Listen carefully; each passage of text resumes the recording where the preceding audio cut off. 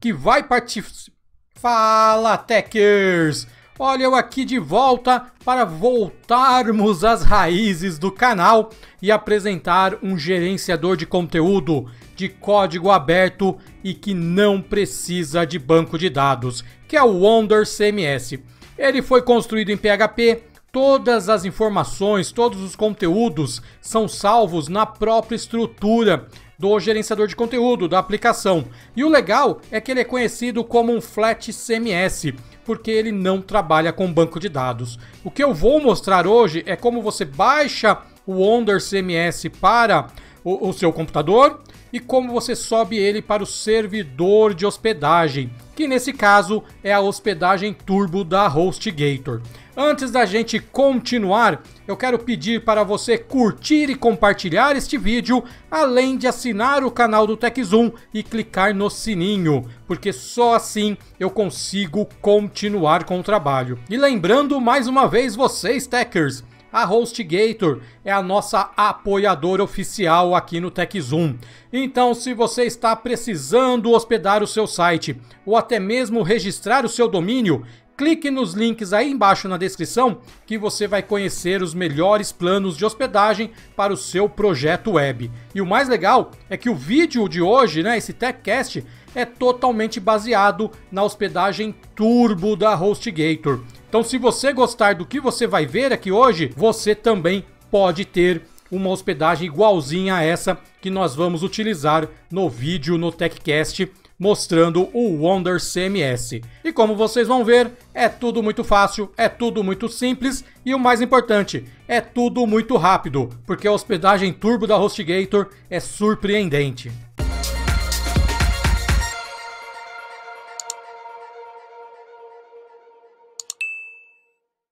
Olha só, esse aqui é o site oficial do Wonder CMS. Você vai encontrar todas as informações sobre esse gerenciador de conteúdo, além de alguns downloads que você pode realizar. Você pode baixar o gerenciador de conteúdo, o script ou a plataforma de criação de sites gratuitamente, mas fora isso, você ainda tem um repositório de temas e um outro repositório de plugins que você também pode utilizar no seu site. Eu vou mostrar rapidamente como você faz a instalação de temas e plugins e você vai ver como é fácil.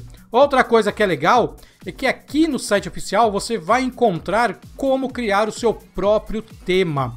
E ele pode ser um HTML estático que depois você transforma num site dinâmico com administração. E isso é um assunto que eu quero também abordar num futuro vídeo. Mas para isso, como eu sempre falo, deixe nos comentários se o conteúdo é bacana e se você realmente quer ver aqui no canal. E lógico, curte o vídeo também, que assim é, eu tenho um termômetro para saber se você está gostando ou não das coisas que eu estou mostrando. E ó, são oito passos para criar um template, um tema para o Wonder CMS. Então é coisa de 10 minutos você já tem um tema do HTML para o PHP pronto e publicado. Então vamos lá. Primeira coisa que a gente vai fazer é baixar o Wonder CMS. Então eu vou na bin aqui no menu Downloads, vou baixar o, a última versão do gerenciador de conteúdo e vou salvar ela aqui no meu computador. Vou deixar no htdocs mesmo, que é rapidinho, né? Só, só para depois pegar esse zip e subir para o servidor lá da HostGator. Se a gente vier aqui na, na pasta onde salvou o, o Wonder, vocês vão ver que é um arquivo super pequenininho e lá dentro, olha só, o gerenciador de conteúdo antes da instalação tem um index.php, um htaccess que faz toda a configuração para gravar os arquivos, para criar novas pastas lá dentro do seu projeto e uma outra pastinha de temas. E olha só, depois que a gente subir e fizer a primeira instalação, que na verdade não é uma instalação, é só rodar o script a primeira vez no servidor, vocês vão notar que estas pastas e arquivos vão aumentar, porque ele começa a criar tudo dentro da própria estrutura do gerenciador de conteúdo. Então, ó, que a gente vai fazer é uma coisa bem simples. Nós vamos abrir aqui o, o nosso gerenciador de arquivos lá na hospedagem Turbo da HostGator e vamos subir este zip do Wonder CMS. Simples assim. Então eu vou selecionar o arquivo, vou lá no meu htdocs, está aqui o Wonder, dou dois cliques, ele já vai fazer o upload, olha só, é minúsculo, é muito pequenininho, então ele sobe rapidinho. Vou voltar para a pasta é, public underline HTML, que é a mesma coisa da www, que é onde os seus arquivos precisam estar. E aqui, olha só que legal, eu vou clicar no arquivo é, .zip, vou clicar com o botão direito e vou na opção de extrair. Eu vou fazer o que? A extração do zip aqui dentro do servidor. E ele faz isso também em alguns segundos, olha lá, já fez.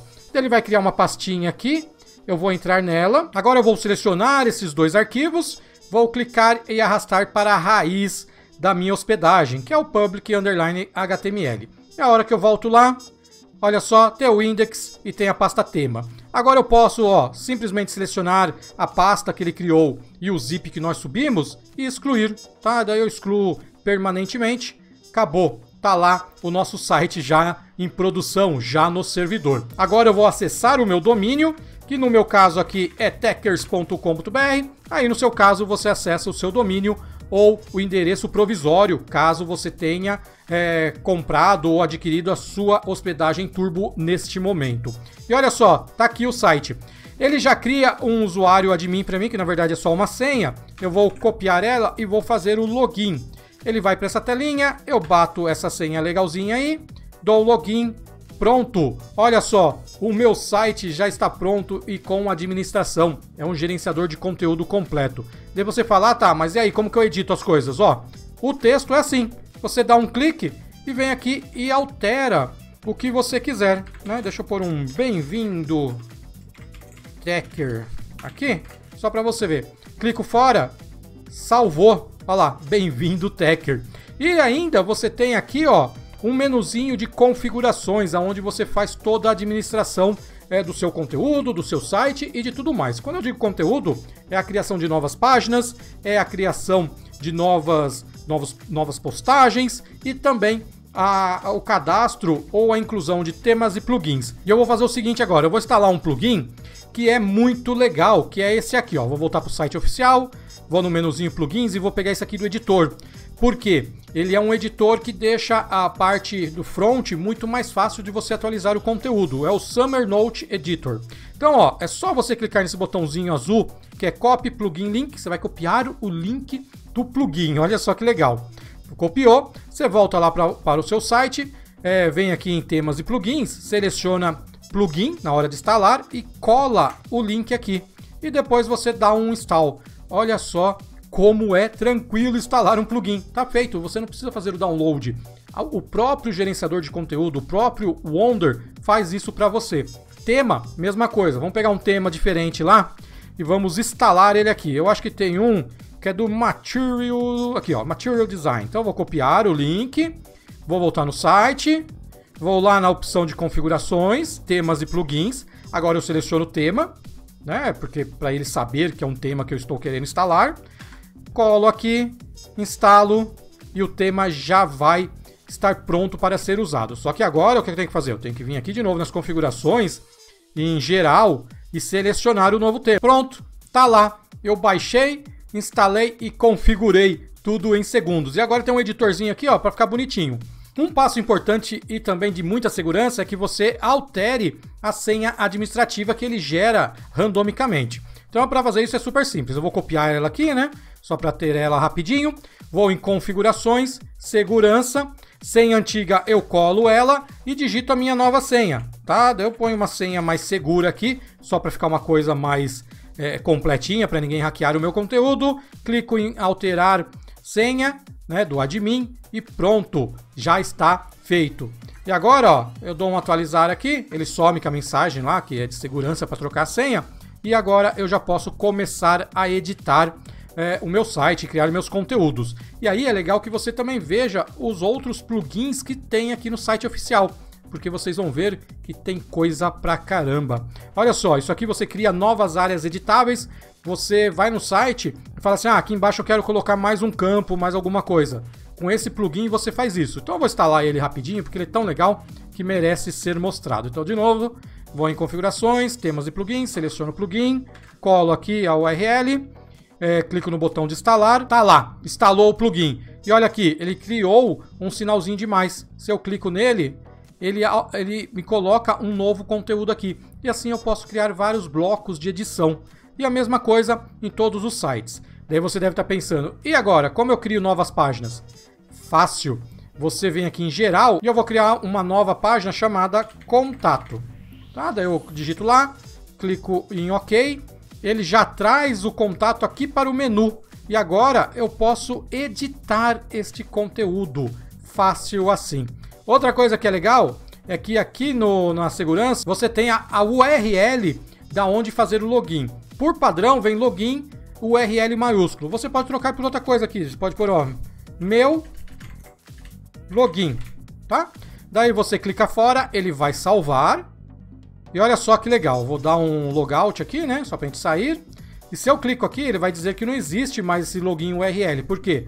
Agora, a, a, o caminho correto para você logar como administrador é meu login. Daí você dá Enter, ele aparece aqui, daí é só você bater a sua senha nova, né, que a gente trocou lá no, no outro passo. Você clica e agora você está logado. Esse é o Wonder CMS, esse é o gerenciador de conteúdo Flat, que faz tudo direto na estrutura dos arquivos do PHP lá no seu servidor, lá na estrutura dos arquivos e pastas. E olha só, agora se a gente voltar aqui e pedir para atualizar, ele criou um monte de outras pastas, olha só que bacana. E também o database.js. É aqui que estão todas as configurações do seu site. Caso você queira editar, a HostGator tem esse recurso aqui, ó, você edita direto no navegador também.